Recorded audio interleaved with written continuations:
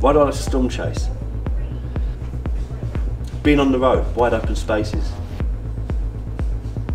Um, yeah, away from the, the concrete jungle.